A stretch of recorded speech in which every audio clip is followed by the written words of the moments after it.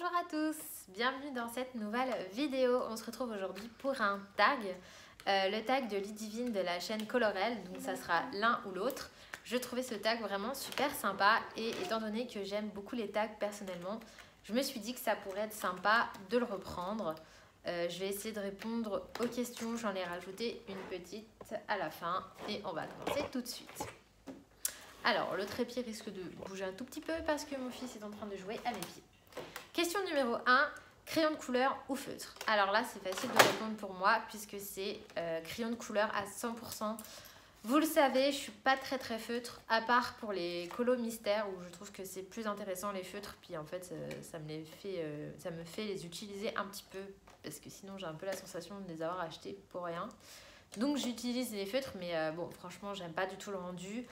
Euh, je pense pas que j'ai forcément les bons feutres et les bonnes techniques, mais vraiment, je me suis concentrée sur les techniques au crayon de couleur. Et les feutres, j'ai délaissé. À part les feutres à alcool où j'essaye de progresser, je me suis procuré récemment le mandala euh, mystère de nuit de, des éditions Coloria que je trouve vraiment hyper sympa à faire au feutre à alcool. Et euh, du coup, voilà, j'ai utilisé un petit peu aussi dans les jet Steamer ou ce genre de livre, mais sinon, c'est vraiment crayon de couleur à 100%. J'adore les crayons de couleur, j'aime vraiment utiliser ça. Et les feutres, pas tellement. Question 2.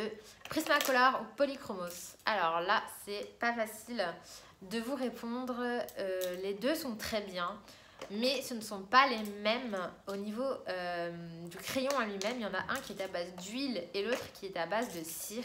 Et la différence entre les deux, c'est qu'un crayon à base d'huile va être plus gras et donc vous allez pouvoir superposer beaucoup plus de couches avant que le papier soit saturé. Et ça, ça permet de faire des dégradés beaucoup plus travaillés, beaucoup plus euh, mélangés, alors qu'un crayon à base de cire va mieux tenir dans le temps, beaucoup mieux à la lumière, etc. Mais euh, le papier va être saturé plus vite, vous allez faire moins de couches, mais néanmoins, les couleurs vont être quand même intenses et euh, si vous aimez pas forcément euh, colorier couche par couche par couche par couche, euh, les polychromos sont plus conseillés pour vous. Vous ferez peut-être moins de, de, sous-couches. Après, pour certains dessins, type comme les Disney, il y a des dessins où c'est plus petit, etc. On va pas faire 40 000 dégradés dedans. Donc là, oui, c'est sûr que les polychromos, je préfère colorier du Disney avec du polychromos. Mais pour des, dessins autres où je vais vraiment travailler euh, sur plein de couches, euh, notamment dans le hors Disney, je préfère les Prismacolor. Donc voilà, je peux pas hyper répondre entre l'un ou l'autre, j'aime les deux. Ça dépend de ce que je veux faire. Euh, voilà, ça se vaut à peu près. Ensuite, Disney ou hors Disney? Alors, pour moi, ça sera hors Disney. J'adore Disney, j'y reviens régulièrement. J'en fais euh, de temps en temps, mais je préfère le hors Disney. Car j'aime bien être créative, j'aime euh, créer des choses, imaginer. Et je trouve que quand on est fan de Disney, on n'arrive pas à faire une Jasmine blonde, une Ariel euh, brune. Enfin, vous voyez ce que je veux dire? On reste dans les couleurs de Disney. Et du coup, à part imaginer des fonds, etc., on va pas non plus euh, créer plus que ça alors que sur du hors Disney on peut euh, imaginer tout ce qu'on veut. Et moi c'est vraiment ça qui me plaît. C'est euh, bah voilà partir dans mon délire et imaginer des choses. Et, du coup je suis un peu plus hors Disney. Et il y a tellement tellement de belles choses. Tellement d'illustrateurs fantastiques que non j'adore trop trop le hors Disney. Mais j'aime quand même Disney. J'en fais régulièrement. Mais je pourrais pas faire que ça Ensuite, question 4, Facebook ou Instagram? Alors, pour moi, c'est Instagram. C'est le premier réseau social sur lequel je suis allée. J'adore euh, ce principe de, voilà, des stories qu'on peut voir régulièrement, euh, partager des petites photos comme ça.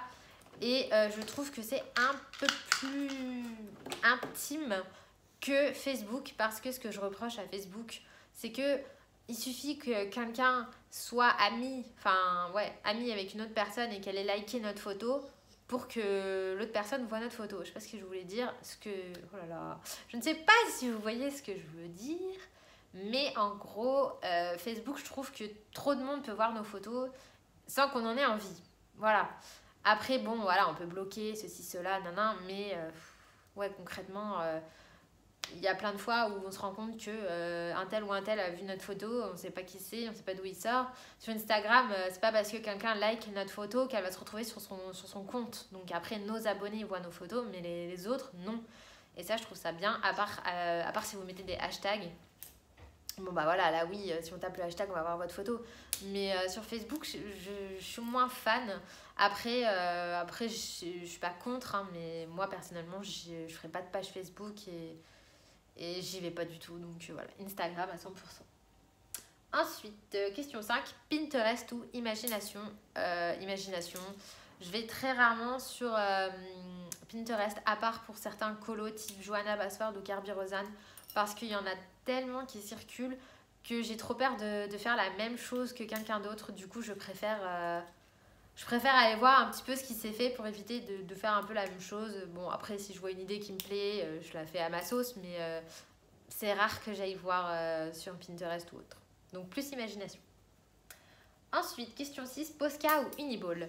Alors là, c'est pareil, ça dépend. Je dirais Uniball parce que pour tout ce qui est lumière, repasser des traits noirs, etc., je trouve le Uniball plus blanc, plus couvrant, plus étincelant. Et euh, vraiment, a vraiment été un, une bonne découverte de la fin de l'année, là. Merci Ludivine. Et euh, par contre, pour le Posca, je le trouve quand même indispensable pour faire tout ce qui est effet de brume, brouillard, écume. Vous savez, quand vous mettez euh, un peu de peinture du Posca et que vous l'étalez soit au coton, soit au doigt pour faire un effet vaporeux, ça avec un uniball, c'est même pas la peine. Donc, euh, donc là, je trouve quand même que d'avoir les deux, c'est bien. Et euh, sinon, ouais, non, je pourrais pas me passer de mon Posca, mais je trouve que le Uniball est vraiment une belle découverte. Question 7. Maria Troll ou Anna Carlson? Euh, Je dirais Maria Troll, vous le savez, c'est ma chouchoute. J'adore vraiment ses illustrations. Mais il y a un point sur lequel je trouve que Anna Carlson est au-dessus, c'est les portraits. Je ne trouve pas les portraits de Maria Troll exceptionnels. Je pense qu'ils sont beaux, hein, je ne dis pas qu'ils sont moches mais je pense pas que ça soit son point fort. Euh, les portraits d'Anna Cardone sont plus jolis et quand on aime bien travailler la peau, les cheveux, ben je trouve que voilà, il faut quand même avoir euh, du Anna Cardone parce que Maria Troll toute seule, je pense que ça me manquerait euh, un peu les portraits. Mais si je devais en choisir qu'une, je choisirais quand même Maria Troll parce que ses livres sont juste magnifiques. C'est plus doux, voilà, c'est plus mignon. Enfin, ouais, plus mignon. Donc, euh, bon, quand même Maria Troll, mais Anna Cardone, je t'élimine pas quand même. Hein. Ensuite, achète carré ou bloc? Euh, je dirais bloc. Je trouve que les carrés, c'est bien pour faire des essais, pour faire des petits colos vite fait, mais euh, les blocs sont quand même au-dessus niveau illustration, que ce soit le silhouette, le portrait. il y a quoi d'autre que j'aime beaucoup? Il y a l'ABCDR qui est très joli. Enfin, il y a eu tous les nouveaux, les buddies, le buddies, etc. Euh, tout cela, je les trouve vraiment magnifiques et je pense qu'on peut faire euh, de très très belles choses avec. Et ouais, je les préfère au carré. Ensuite, achète euh, affiche mythique ou scène culte. Scène culte, j'ai les deux, mais je préfère colorier dans les scènes cultes que dans les affiches mythiques parce que bon, c'est sympa de faire une affiche mais euh, je trouve ça mieux de faire une scène. J'aime vraiment beaucoup ce principe de colorier une scène et d'ailleurs c'est tellement dommage qu'ils ne fassent plus de, vous savez, les petits et la 30 scènes cultes. Euh, soit disant ça marche pas, je suis pas sûre que ça soit vrai, mais si c'est le cas, bah pour moi ils ont pas forcément choisi les meilleurs Disney, ils en auraient fait un sur La Belle et la Bête, La Petite Sirène, euh, Pocahontas, Le Livre de la Jungle. Euh, des Disney comme ça, je pense que ça serait, les gens ils seraient jetés dessus. Enfin, je pense qu'on serait beaucoup. Demain, il y en a un qui sort sur La Belle et la Bête. Je pense qu'on serait beaucoup à aller l'acheter. Enfin, du coup, je trouve ça vraiment dommage parce qu'en plus, c'était des livres, on pouvait les finir, ils étaient à notre portée. Plutôt que les scènes cultes qui sont immenses. Ils sont magnifiques, mais voilà, on se dit qu'on les finira jamais. Il y a trop de colos, c'est trop grand. Enfin, moi, ça me fait peur quand c'est trop grand. Je me dis, je vais y passer trop de temps.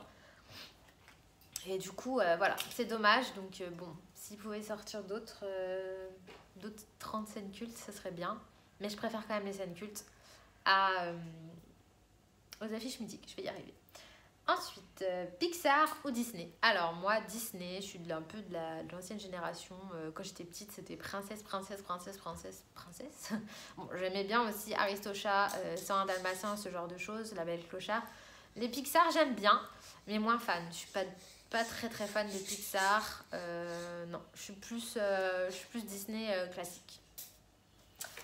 Voilà. Ensuite, retouche photo ou pas? Pas du tout. Je ne fais aucune retouche photo. Euh, non, j'en ai jamais fait. Euh, ça m'arrive de faire des photos en pleine nuit avec une lumière artificielle. Je m'en fiche, euh, je me prends pas la tête. voilà, je, suis pas là à retoucher la lumière, non, non, non. non. Mon colo, il est comme il est. Et puis voilà, il plaît pas, il plaît pas. Et bah tant pis, de toute façon, on fait pas toujours des trucs canons. Mais non, je vais pas retoucher, c'est pas, pas mon intérêt. Puis en plus, franchement, je sais même pas faire. Donc comme ça, voilà. Ensuite, euh, question 12, Kirby Rosanne ou Clara Markova? Non mais, encore une fois, la question trop dure quoi. Euh, pas choisir, c'est impossible. Euh, bah D'ailleurs, je viens de finir un, un, colo dans mon Ferry Miracle et là je suis en train de faire un dans le Mytho Mafia. Donc voilà, j'adore les deux, mais c'est pas du tout pareil. Clara Markova, c'est un peu les petites fées, les petits animaux mignons, un peu cucul praline. Bon, on aime bien le cucul praline, hein, mais, mais Kirby Rosanne, c'est pas du tout cucu pour le coup, c'est un peu plus dark. En fait, on sent vraiment la patte masculine, quoi. On sent, euh, on sent l'homme dans le crayon, vous voyez ce que je veux dire? C'est pas des, dessins euh, sont plus dark, ils font plus. Euh, ouais, on sent le. Voilà, Clara Markova, c'est plus féminin, c'est plus doux, c'est poétique, c'est mignon. Euh, Rosa, non, non c'est masculin, quoi, c'est plus dark. Et du coup, bah, des fois, j'adore faire du cucul à praline de Clara Markova, c'est trop beau. Mais des fois, j'aime bien faire des trucs euh, un peu plus euh, dark. Donc, euh, je pourrais pas choisir. Les deux, les deux sont, sont très bien. Et, et, voilà. Après, il y a Clara Markova, j'aime beaucoup ses livres. Mais le truc que j'aimais pas au tout début avec cette illustratrice, c'était qu'elle faisait des petits elfes avec, avec le cul nu. je sais pas si vous voyez, mais surtout dans le premier, le Magical Delight, je l'ai pas. Hein. mais je sais que je voyais pas mal passer ces colos là où je me disais mais ah, non ça colorier des fesses euh, non c'est pas pour moi même s'il y en a pas beaucoup mais ça me dérangeait du coup c'est pour ça que j'ai pas pris le premier mais euh, mais bon voilà dans dans Carvy Rosanne j'aime pas non plus tous tous ces colos donc euh, donc voilà bref je pense que vous avez compris euh, ensuite, question 13, pastel sec ou à l'huile? Pastel sec, l'huile, je ne maîtrise pas du tout. Je trouve que c'est plus difficile de, de, le travailler, même si, même si c'est possible. Hein, on peut faire des choses superbes. Mais j'aime bien la pastel, le, le pastel sec. Je trouve qu'on peut faire des choses hyper sympas avec, avec ses doigts, avec un coton, avec voilà, on peut faire des trucs vraiment jolis. Et je m'y exerce en ce moment là. Je suis un peu en train de faire des tests. Ensuite, Gelatos ou Neocolor. Neocolor 2 sans hésiter. J'adore les Neocolor 2 pour les fonds et les Gelatos euh, trop trop. J'aime bien justement les petits colos, les carrés et tout, mais quand il y a une grande zone à estomper là, non, en plus franchement ils s'estompent pas facilement, il faut, faut, mettre beaucoup de d'essence sans odeur, sinon c'est compliqué. Donc euh, Neocolor 2, je trouve qu'on peut faire vraiment des choses sublimes avec. Ils sont pas faciles à maîtriser, mais franchement à force à force, on finit par y arriver et à faire des choses sympas. Ensuite, question 15, crayon de couleur à sec ou estompé à sec? Euh, j'ai estompé à mes débuts, maintenant plus du tout parce que quand on fait euh, des dégradés euh, bien travaillés, non, je trouve que l'essence ça va tout, tout mixer, tout, tout voilà. Après pour faire un grand fond, oui, là oui, parce qu'on ne va pas user son crayon à faire tout le fond, mais pour des petites zones, non, je préfère utiliser un blender plutôt que d'utiliser l'essence, j'ai de plus en plus de mal. Euh, non, je vais la garder pour euh, gelatos, pastel à l'huile ou grande zone au crayon de couleur, mais pas pour les petits détails. Ensuite, euh, j'ai rajouté une question, donc aquarellable ou non aquarellable? Alors, moi, je suis carrément dans la team pas aquarellable. J'aime bien utiliser des crayons aquarellables, mais c'est pas ce que je préfère travailler. Moi, je préfère vraiment travailler avec mon crayon en main plutôt qu'avec un pinceau à réservoir d'eau. Euh, c'est pas trop mon truc. J'ai les Derwent Intense, mais en fait, j'avais acheté la boîte de 48 et je pense que j'avais très bien fait parce que c'est pas du tout ce que je préfère. Euh, J'arrive pas trop trop à dégrader, je fais des traces, euh, ça me saoule quand mon papier gondole, même un tout petit peu, ça m'énerve. Ouais, donc j'ai pas investi dans d'autres crayons aquarellables et pour le moment, je suis plus crayon à sec. Je colorie comme ça. Peut-être que dans l'avenir, ça changera. Mais pour le moment, euh, je suis vraiment plus à sec. Voilà, donc c'est terminé. J'espère que ça vous aura plu. Euh, je suis en train de préparer pas mal de vidéos, mais je n'avance pas à mon rythme, enfin pas comme je voudrais, parce que malheureusement, bah voilà, mon fils il à un âge, euh, il a 19 mois, il a un âge où il est un peu pénible, il est tout le temps dans mes pattes, il joue pas trop trop tout seul, il touche à tout. Donc quand je fais une vidéo, il est là, il enfin, parfois j'ai recommencé 3-4 fois à tourner, je perds du temps. Euh, du coup, c'est pas facile pour moi, mais euh, je, vais le faire. Donc euh, voilà, je suis en train de finir mon colo Mythomorphia pour vous faire ma vidéo mes colos terminés. et je suis en train de vous faire un tuto que je vous prépare qui va arriver bientôt. donc voilà, ça arrive petit à petit. je fais de mon mieux. Je vous souhaite bah, bonne journée, bonne soirée selon le moment où vous regardez. Et je vous dis à bientôt